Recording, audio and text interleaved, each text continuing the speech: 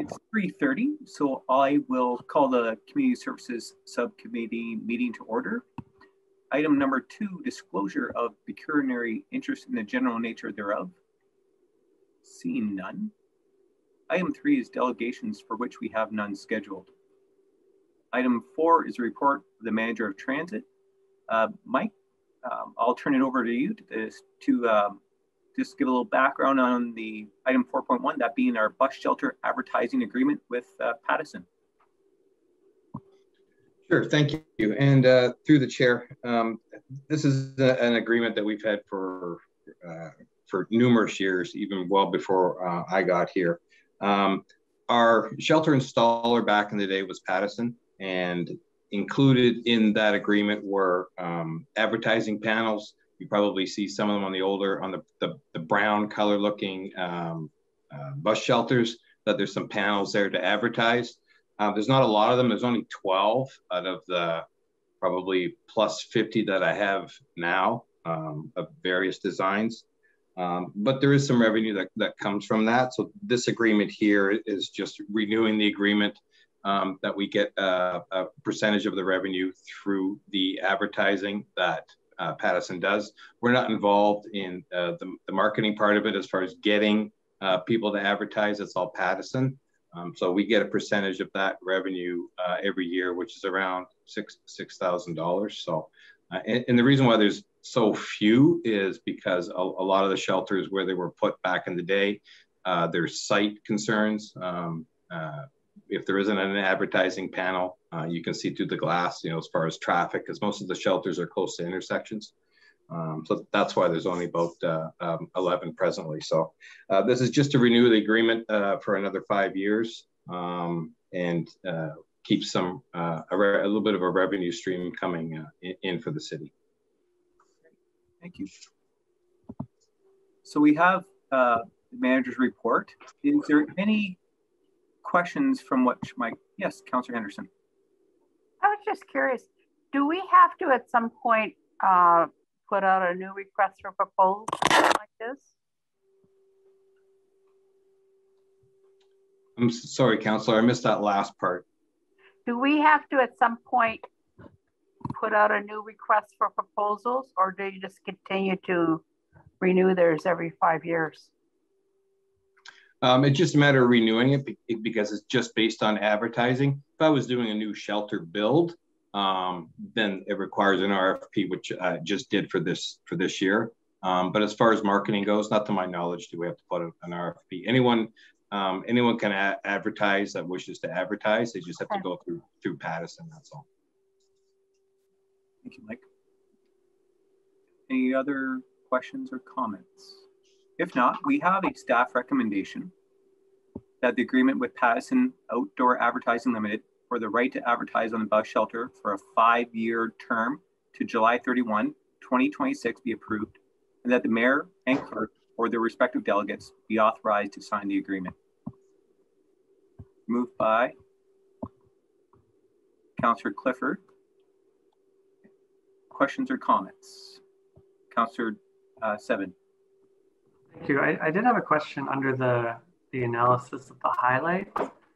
Uh, just the one bullet says that Pattison shall, at the city's request and cost, repair and maintain the advertising bus shelters. Does that mean that they will repair it at the city's cost? Like, does that mean that they're doing the work, or are we the ones doing the work and paying for it? Or I guess I'm just the sentences. I'm confused. Mike, you're on mute. You're on mute, Mike. My apologies. Um, through the chair, uh, basically Pattison will replace or repair the advertising panel because it's kind of a glass case. Anything shelter related beyond that, uh, we repair, the, the city repairs, but Pattison will repair if there's any damage or if there's glass broken on the actual panel itself, they will repair that. Okay, and so it says that the city's cost, but is that is that correct? uh, no, through the chair, the, the city cost would be for the remaining other part of the shelter. It's their cost to fix the panel if okay. there's a panel issue. Thank you. Any further questions or comments? See none, I'll call the question. All in favor? And that is carried. Thank you. Item five is a report of the manager of recreation and marketing.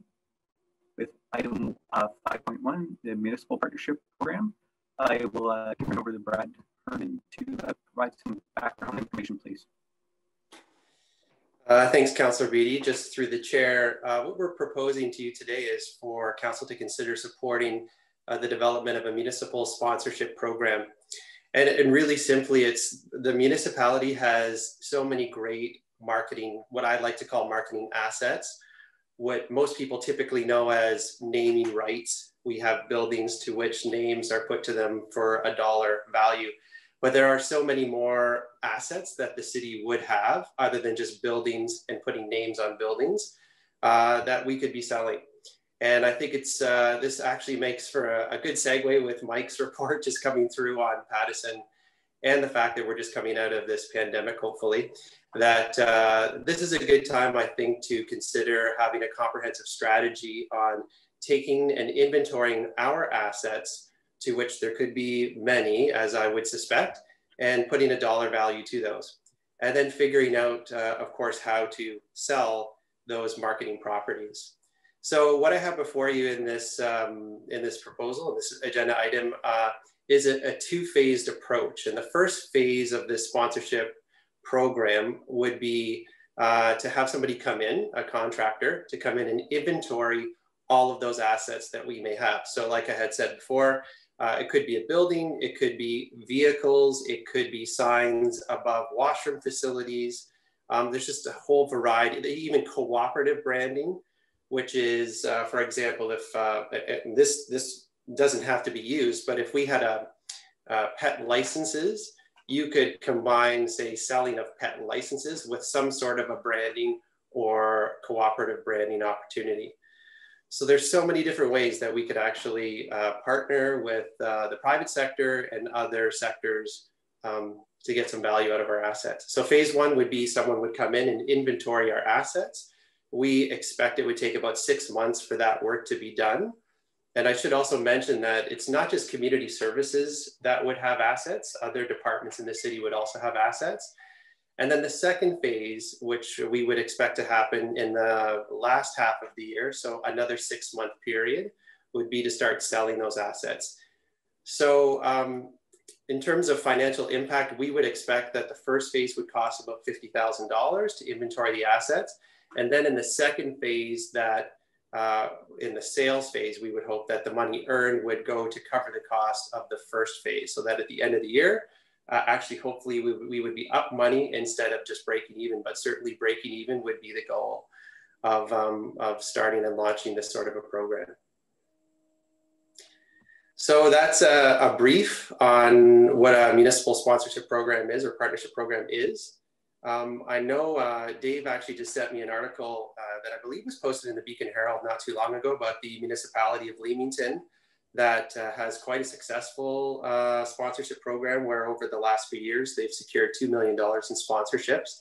And I think a million dollars in a multi-use, uh, a 15 year deal with a multi-use recreation facility. Uh, Chatham Kent as well is, I think on phase two, if I'm not mistaken, of their uh, municipal partnership program, and it is quite successful as well. So many municipalities obviously are looking for revenue generation, and this is, uh, I think we need to close the gap on uh, what we've been doing traditionally, which is just basic cost recovery on our assets and, uh, and make it into a program that's comprehensive and is making us money. Thank you, Brad. So I know that this is something that I've been pushing um, for a while. Brad, I do appreciate you uh, bringing this forward. Um, and, and, I'll be honest with you that you know, as a municipality, always looking for new ways to bring in revenue. This is something that I, would like to believe is uh, low hanging fruit, and to get moving on this, um, I think I think is a great way of bringing in some new revenue to to the city. Um, and if what's required is, to bring a person on board, I was a little surprised. I'll be honest with how much um, was going to cost to do that, but I understand that uh, in order to do it right, sometimes it comes with with a cost. Uh, I wasn't aware that'd be, I mean, as much as it was, but I appreciate the the information. Um, but I, I think from my standpoint, uh, the opportunity, as you identified, there are significant opportunities here, and uh, hopefully we can move to a very quickly to a cash positive situation if we proceed with this. So that's just my comments. Uh, Councillor Clifford. Thank you, Chair. Um, I was going to ask uh, Brad, after we do the inventory, is it an outside company we hire or do we hire someone in? Are you planning to hire someone internally? Uh, through the chair, it, it's a great question. I think what we would do is lean on the consultant that would come in in phase one to give us those options. So what does that look like to then resource the sales phase, uh, not just for the last six months of the, of the year long work on this program, but then moving forward into the next hopefully five or 10 years. I would expect it would be a third party vendor that would be on commission sales. Um, that's typical of these sort of programs, but uh, I would love to hear all the different perspectives on how this could be resourced. Thank you. Further questions? Councillor Burbach. Thank you.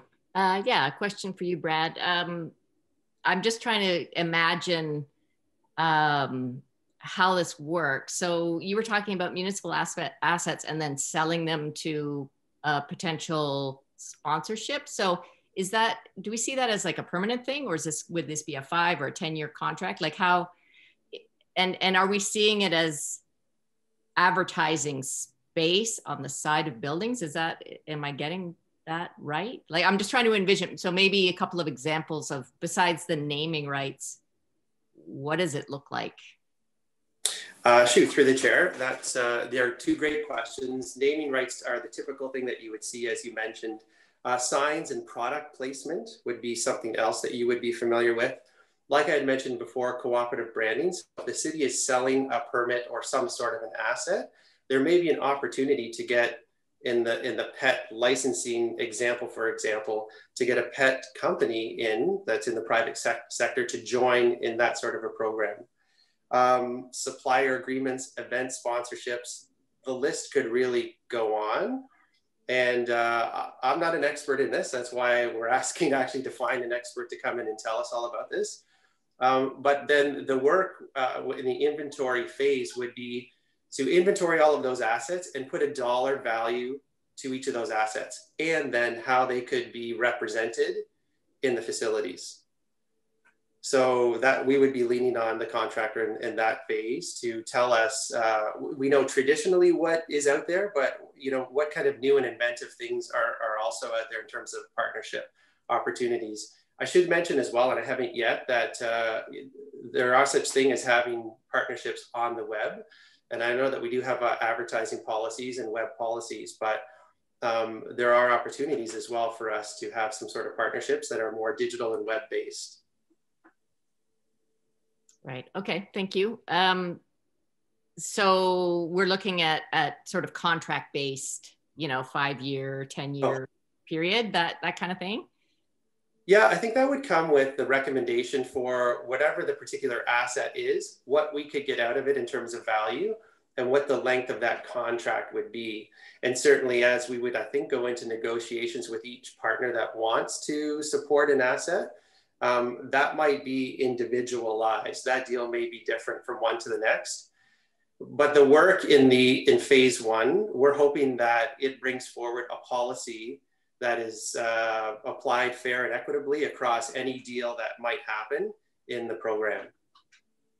Right. We'd be looking for that guidance. Right. And you mentioned too that there were a couple like Leamington and other spots that have, so th this is a fairly common thing for a municipality to engage in. Uh, through the chair, yes, it is actually. And we had brought um, a version of this proposal forward to council a few years ago. And uh, as, as I was reading the Leamington and Chatham Kent uh, article uh, recently, it looks identical to actually what we brought forward a few years ago.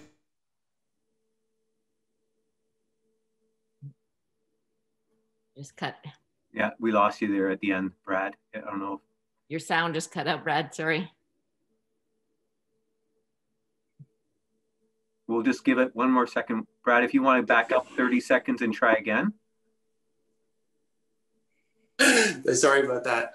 Um, I, don't know where you lost me, but I guess I should just uh, I should. You were just talking. Sorry, I'll interrupt just for a second. You were you were just talking about Leamington and uh, what we what you had brought forward several years ago, and uh, what this looks like now. Oh yeah. So so Leamington and Chatham Kent are doing actually exactly what we had proposed uh, a few years ago, when obviously the time wasn't right, and perhaps the budget dollars weren't there but certainly what they are doing is, is what we had proposed a few years ago and what we would like to move forward on. So I think there, there is success to be had.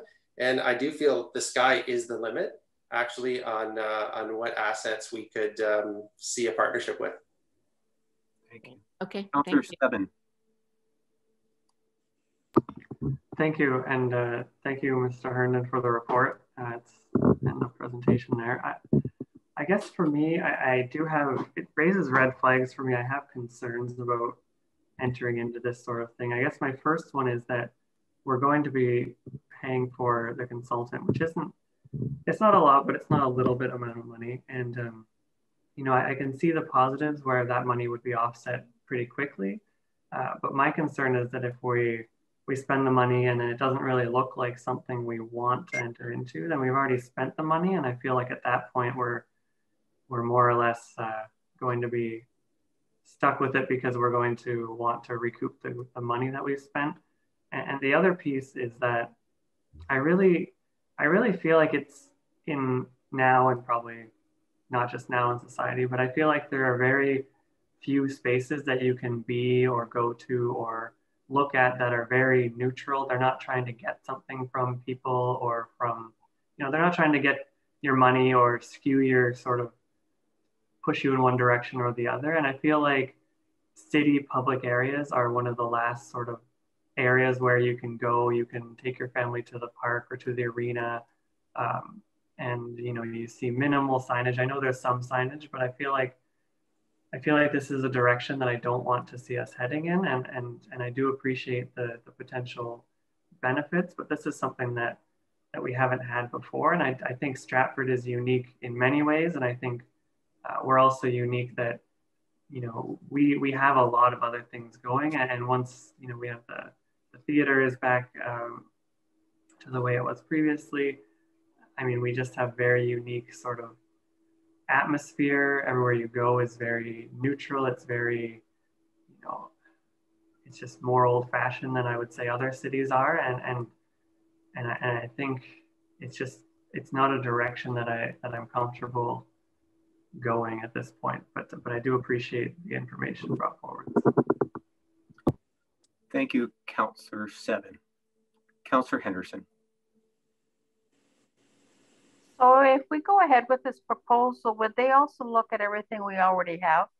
Like, you know, we already have advertising in the arenas and at the sports fields and um, and I guess I'm also wondering since other cities have already gone ahead and done this, um, I wonder if there's an option where we could do it ourselves by contacting the cities and maybe seeing a copy of their report or something. I'm just, you know, I'm I'm thinking of all the different places. Like obviously we don't put signs in the park, but um, I guess I'm just wondering about paying somebody $50,000 to tell us where a good idea to get signs are. Or are they going to be part of the reach out to get the advertisers? So I guess I have a bunch of things there. Um, Brad, is there something that you can add to this? Yeah, a couple things, a couple great points by both counselors.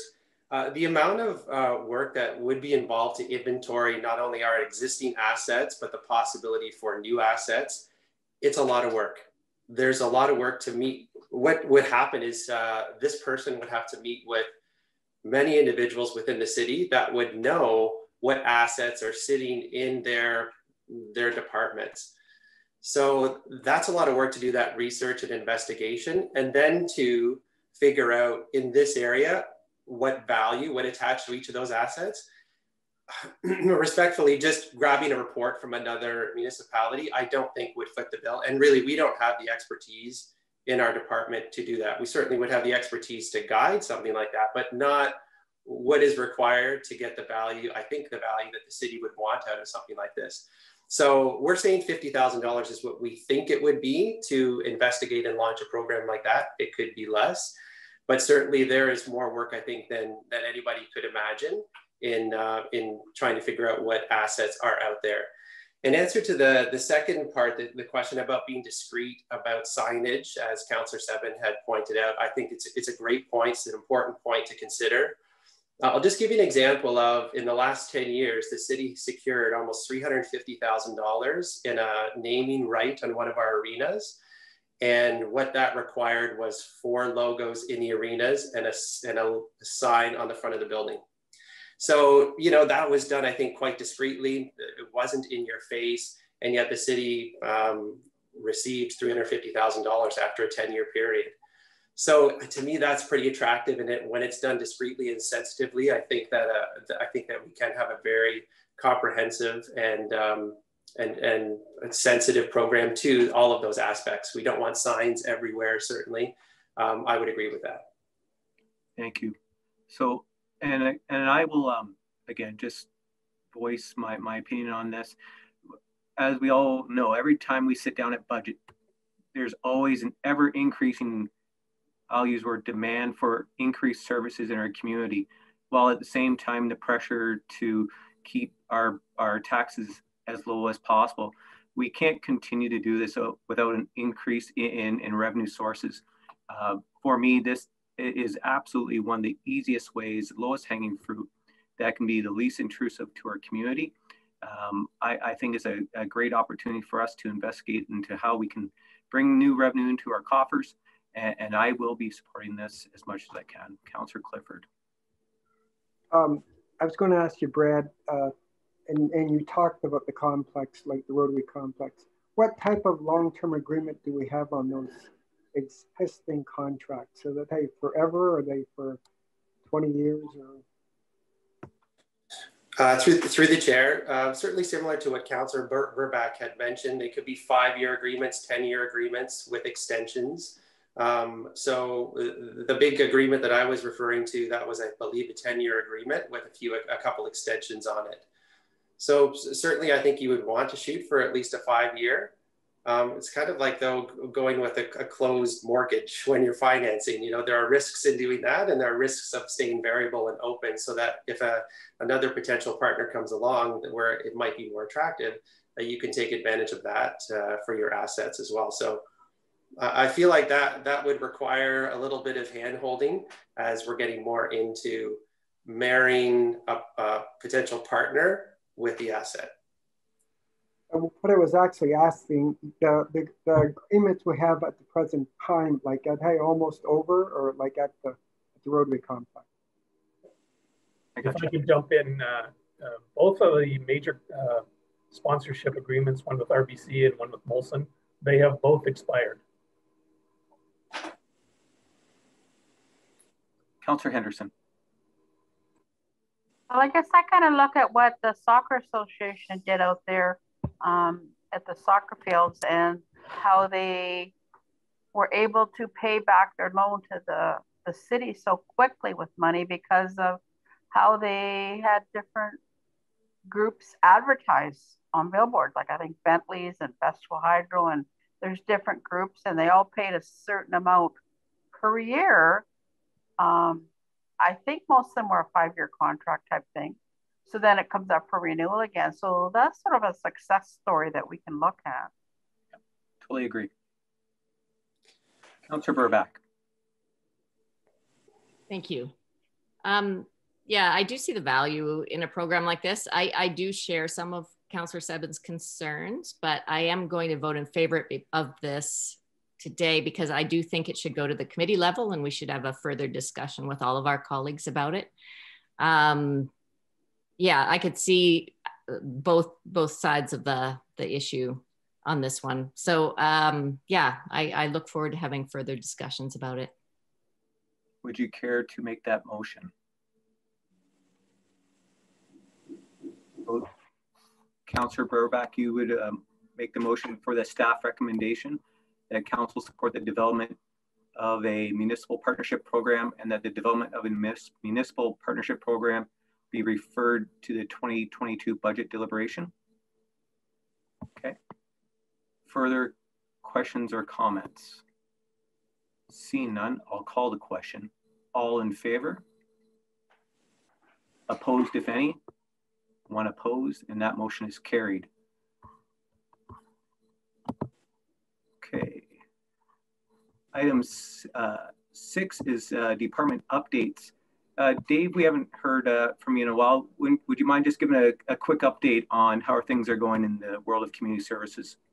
Sure, and, and I'll just jump to the uh, the May report that we have provided, and you can see uh, what Parks is doing in terms of decorating the downtown and our special gardens. as you know, we reduced our staffing to two summer uh, helpers. And so we are significantly lower than we have been in the past. Um, the cemetery is uh, still operating by appointment. And uh, we have an intercom system, so if somebody does come to the door, we can certainly service them. Um, I believe if we move into stage two, or maybe it's three, that we will uh, then be able to open our door. Um, as you can see by transit, if you look at what, what Mike has put down, it says last year, that certainly was a pandemic time. And you can see our ridership moving um, slowly forward. Uh, I can tell you that a lot of our ridership would have been students. Um, and with school not uh, participating, that certainly hurt our business. So transit capital, uh, still moving forward with what we have. Um, accessible bus stops, as Mike pointed out, maybe late summer. Again, you can see parallel transit ridership is uh, more than slightly uh, lower than in previous years. We have a, a, parallel transit bus expected to be delivered in 2021. If you look at programming, still planning to, well, the pool is open as of uh, yesterday, and we're looking at uh, day camp starting on July 5th. Uh, in the recruiting business, uh, we're working with sport groups to make sure that they understand their protocols. And I can tell you there was some, uh, what I call confusion with the two meters and the three meter issue. And uh, it was clarified by public health that if um, people or anybody is engaged in a sporting activity, uh, they need to uh, maintain a three meter distance. In facilities, um, we did keep uh, an ice pad in as, uh, as we thought we would be moving forward, but uh, we ended up removing it. We still have the testing center in Hall D, and we have the vaccination clinics that operate probably uh, four days a week, depending on their schedule. And uh, they're in uh, A, B, and C. The rest of the building is closed. We still have the doctor's office at the end of the hall operating, and we are continuing with the light replacement Rotary Complex and the Agriplex. Where uh, the splash pad was open, um, we added a new uh, sun shelter at the uh, Anne Hathaway Park. Um, still limited to how many picnic tables we can put under those shelters, but hopefully that will improve shortly. We're on the washroom circuit. Um, we still haven't opened up washrooms at Cirque or um, Acom or the soccer field, but we will be shortly as uh, sport groups start to take the field. We purchased the ice resurfacer. Um, I believe the parking lot uh, work is complete. And we're looking at uh, doing some repairs at uh, Packham Road with the sport complex and repairing uh, fencing. If there's any questions, be happy to answer. Any questions from members of council? Councillor Henderson in the report it said about the three fountains. Can you refresh my mind? I think one was going in Upper Queens Park. Where they were going? Yes. Uh, one is at Upper Queens, one at the uh, pool, and one at um, Cirque. Okay. So at Cirque is where's it going to be near? Like what area? It's going to be oh, near. Sir, sir, never mind. I'm thinking of the Rotary Complex for some stupid reason. Part of the uh, washroom facility. Oh, okay. That's good. And will they all have that um, spout on them so that you can fill your water bottle? Yeah, they'll be exactly like the ones we have before. So they're, uh, they're heavy duty and they have water. Perfect. Thank you. Any other, Councillor Burbach? Thanks. Uh, just on the subject of transit, uh, question for Mr. Mosley. I, I've been involved with a group of um, municipal councillors uh, called Climate Caucus. And of course, transit's always on the, the table of part of discussion about environmental concerns. Um, and uh, usually electric buses take the forefront of that discussion. But it was interesting. One of the counselors from Toronto was talking about they have a program that they've just um, kind of worked the, the details out on um, biodiesel, which I thought was really interesting. And they have been able to find a, a, biodiesel fuel mix that they can use on their existing diesel buses. They don't have to do any conversion at all. Uh, and then he was talking about how um, in the winter they have a certain mix. Can and, and, then in the summer there's a different one. Based on temperature apparently it makes a big difference. But i'm just wondering if that's anything that you're familiar with. Uh, through the chair um, we've heard all kinds of you know, from uh, hydrogen to cng to there, there's there's numerous um, uh, propulsion uh, you know to move any vehicle. Um, i'm on quite a few uh, committees presently um, as far as researching electric buses because um, there's a lot of moving parts. Um, the consensus with with the group, and this is the Opta group, so this is uh, you know every, every transit agency in Ontario is we want to put our resources to ZEBs, which is zero emission buses. Um, that's that's where we're going and that's where we want to head as a group as, as trade transit agencies. Um, because when you go cng or you go hybrid or you go you know half diesel half electric if it if it has a tailpipe it's not zero emissions. So that's kind of the the road that we're going down and and there's like i said there's so many moving parts with this um, and we're just basically getting it kind of off the ground now as far as uh, who's involved with it and infrastructure and power. Can I even have a, a, station here at, at my garage?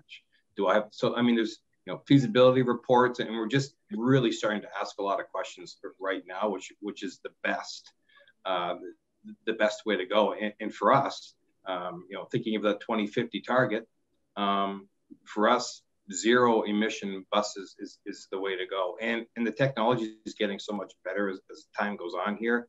Um, you know, they, they last longer on battery charges. Um, uh, we're starting to go away with the overhead uh, charging stations that you don't really need because they'll last the whole day. Uh, our service day is 16 hours, so we're looking something that would last a 16 hour day without having it to be recharged again. So for, for us, um, we've heard, as you mentioned, mentioned, Council, we've heard lots of alternative fuel sources. Um, but in, in our mind and looking at the 2050 target, if not even earlier, is for us is about zero emission buses. And that's kind of what I'm representing Stratford as far as that's the direction I'd like to see us go.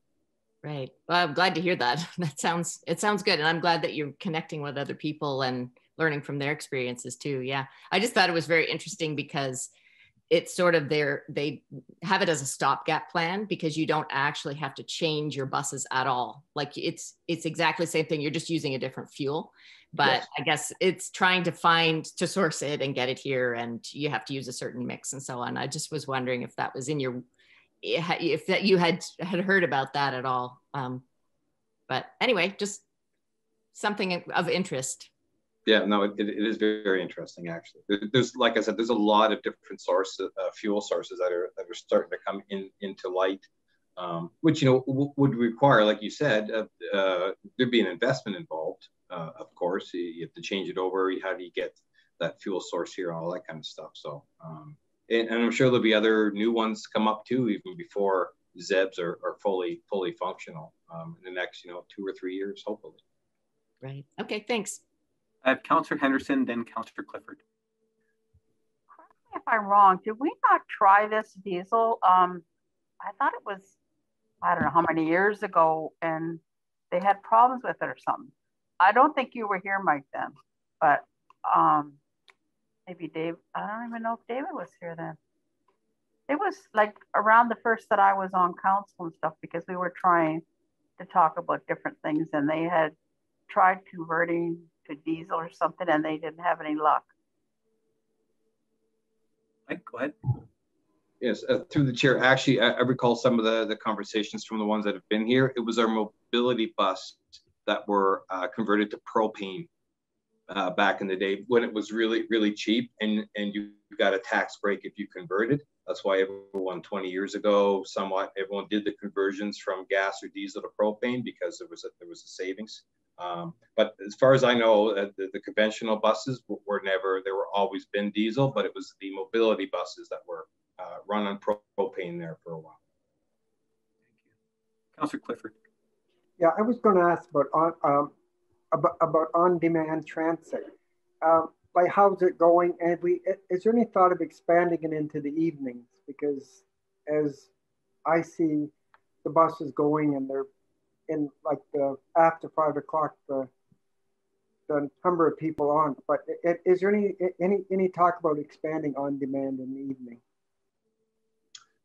Uh, through the chair, actually on demand's working great. Actually, this last past week, and we're starting to see ridership uh, uh, start to increase as things have started to open up. Um, we're, we're seeing well over 100 booked rides on a Saturday and about 50 to 60 on a Sunday. Um, and, and, the beauty of the program is ridership has figured out that I can do four or five trips in a day in literally half the time of what I used to be able to do when you had to put transfers in place. Because now you're asking for a bus at the bus stop, going to a bus stop. You might do a couple stops in between, and then when you're done at your at the Walmart, you're standing there and you're booking for another bus because you want to go to No Frills. It's people really embraced as far as um, how easy it is, and you, you, don't take up your whole day uh, running your errands on transit like you used to. Now, originally, before um, we kind of pushed to, to the Saturdays, um, back two years ago when I was envisioning what this was going to look like, um, kind of tied in with tourism, running maybe a late night service, maybe something later. Um, there was always the, the factory and the midnight shifts. Um, sometimes I, a lot of them do take the seven during the week, but they get there, you know, about an hour earlier. Um, tourism for, you know, um, the matinees that are done at eight o'clock at night. Um, I'd always envisioned putting some type of service um, later. Um, as far as reducing the service, you know, I think it's you know, seven, eight o'clock at night. It, there's there's not too many riders, but there's there's some thoughts in my mind as far as um, how we can tackle that with with uh, this type of uh, service delivery because it, it's working out really good, um, and um, we love it on the weekends. The savings, the ease of use for customers. We're not driving around in circles hoping to pick somebody up. Um, on demand, actually, it, it, there's a purpose. We're only moving when there's something to move to. So um, there's been some some thoughts as, as time uh, goes on as far as you know a late night service, um, and uh, just I, we'll see kind of how ridership kind of bounces back. Hopefully in the fall here, and then we can uh, start looking at some some more data. So. Thanks, Mike. And uh, you know, the Councillor Clifford's point, uh, I know in the back of my mind, I've always been um, optimistic that the on-demand was going to take off, and it was just going to be a matter of, of education of our riders and uh, working through the, the, initial hiccups. So hopefully, we will continue to continue to see the demand for the on-demand services increase, and then you know, as Councillor Clifford indicated, maybe a chance to to increase uh, the hours of operation in that in that means. Um, so again, uh, I think it's great what we're doing there. Any further questions um, for our director? Seeing none. Uh, item seven is the advisory committee and outside board minutes. That, oh, sorry, Councilor Sorry, I was just wondering if you had got the list from the accessibility committee yet of, of things we were wondering where they're at. We had gone through our minutes and I don't believe I've received uh, a complete list. I have had some conversations with clerks and they've passed on a few items. And uh, our plan is that I would attend the uh, September meeting. Okay, I, I don't know what the full list looks like, but I don't believe I have it.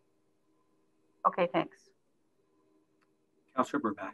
Yeah, just to follow up on that, because I had gone to the ex- accessibility meeting and um, I actually just sent a list of the, the things that were mentioned at that particular meeting onto staff and they've taken care of uh, several of them and or they're looking at, at them. So uh, yeah, uh, that did get, that information did get passed along, just not at, at the committee, subcommittee level.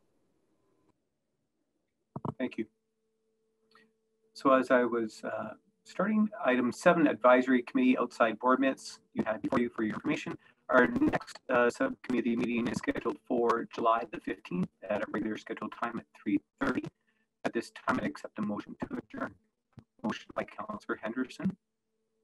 All in Sorry, for- no, no, I forgot, I forgot about in the Parks Board meeting, it was talking about the, the band shell and the boards and they had to get a hold of the Heritage Com- um, Committee. Has anything been done with that yet? Now through the chair. So um, that information has been passed on to our facility manager and we are looking at how we can uh, make some repairs. Okay, thanks. Okay, I'll move it now, Brad. Thank you, Councillor Henderson. Motion to adjourn. All in favor? And that is carried. Thank you, everyone. Have a great afternoon.